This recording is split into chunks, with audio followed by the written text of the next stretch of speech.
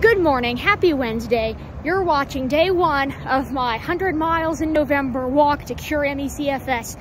This is for the Ron Davis Lab at Stanford to buy a high pressure liquid chromatography instrument, which will help them do their innovative groundbreaking research into this disease. To learn more, click the link to my fundraiser. That's also where you donate. We're looking to raise $40,000. Is that possible? There's only one way to tell. Uh, my name is Emma Doty. Once again, you can follow my walks this month on Facebook, Instagram, and Strava, where I'm recording these walks.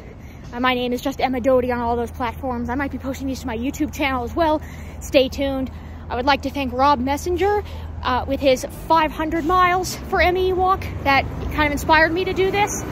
Um, I think his Facebook page is 500 miles for ME. Go check that out. I'd like to thank Janet Dafoe for talking to me on Friday, telling me all the information I need to put this together, as well as Whitney Dafoe, whose fundraiser page I kind of based this off of. I, yeah, this is all for a good cause. Go check out the link. Thank you.